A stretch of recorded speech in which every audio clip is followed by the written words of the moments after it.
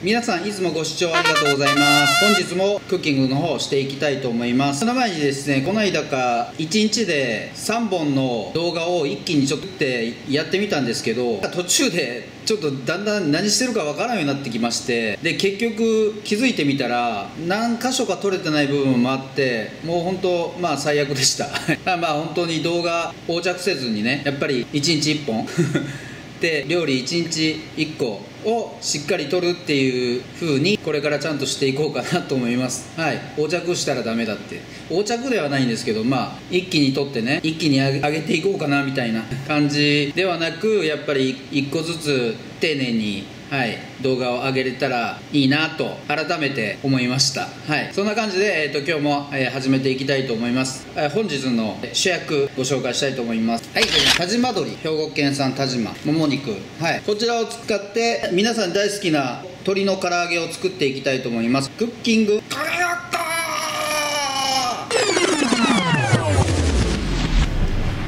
はいそれでは始めていきたいと思います。初めにまず、ね、切っていきます。まあ、大きさはねあのこれもお好みで結構だと思います。ただ火がね通りにくいんでねあんまり大きすぎてもダメかなみたいな。はい。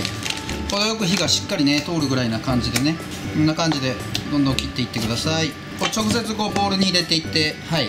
はいこんな感じで切れました。こんな感じで切れました。初めにこの塩コショウでそんなにほんとかけんでいいです。軽くでいいです。はい、はい、それでは材料の方順番に入れていきたいと思います。マヨネーズはね適量で。はい。マヨネーズはですね酢の代わりというかね代用してもらったらいいと思います。入れることによって鶏肉が柔らかくなりますんで。ごま油75みりんもごま油と同量70薄口150料理酒も150生姜。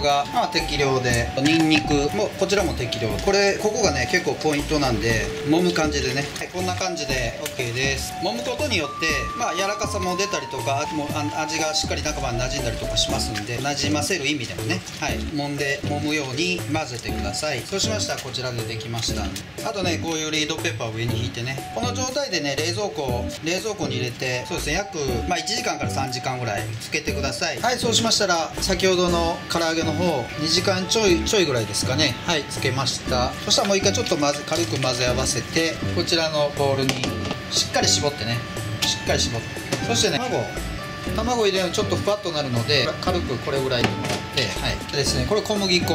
まあ大体これ大さじ2杯ぐらい。のね分量で初めにねベースをね小麦粉にしてもらって。でもうちょっとちょっとベタベタってしてるかなって思ったらちょっともうちょっとこれ足してください。そして下地下地のねこのベースを小麦粉でつけてその後に片栗粉でね表面に、えー、カラッとした感じを出す出しますので、はい、表面は片栗粉。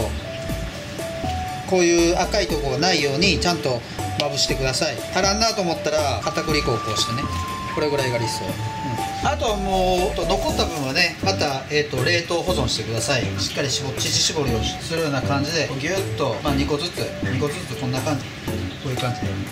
56個ぐらいを小分けしてください。こういうのに入れてねこう冷凍保存しといてください。あの使われる時はねレンジで、まあ、1分ぐらいしてもらってですね反射離ぐらいなね状態で、またさっきみたいなボウル合わせてね卵入れて片栗粉と小麦粉を入れて揚げてください。はい揚げていきます。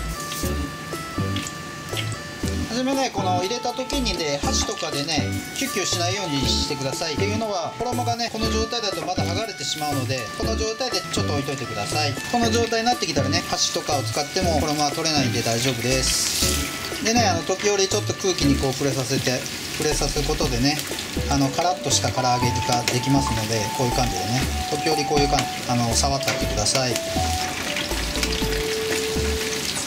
ご家庭でしたらねあの初め160からねスタートしてね上がるギリギリぐらいにねちょっと温度をガガッと上げてね表面をな表面をねちょっとカラッとさせてもいいと思います。はい唐揚げ完成しました。軽くね粉吹いてるぐらいな感じがね一番理想ですはい唐揚げいただきます。皮かめちゃめちゃジューシーでうまっ。キャベツとかもらうんでねこういう時に唐揚げとかにね付け合わせで食べると美味しいですね。うん。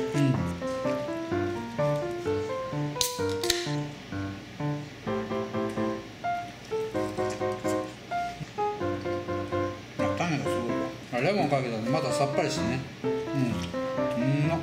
この北島鶏ほんまジューシーで全然パサつき感もないんで唐揚げにめっちゃ合います。はい。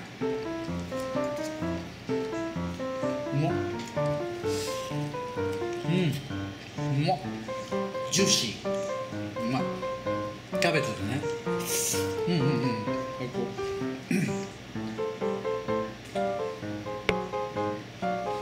うまい。マヨネーズつけて。うん。ほんとサクサク。ごちそうさまでした。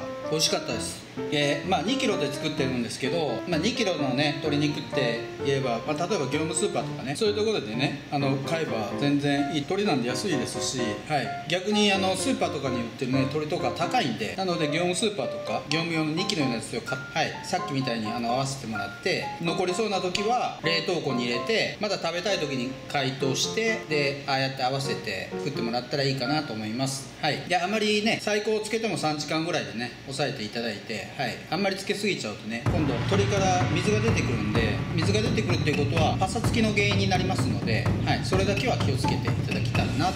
こんな感じで今日は鶏を使って定番唐揚げを作ってみました。本日もご視聴ありがとうございます。次回また楽しみにしてください。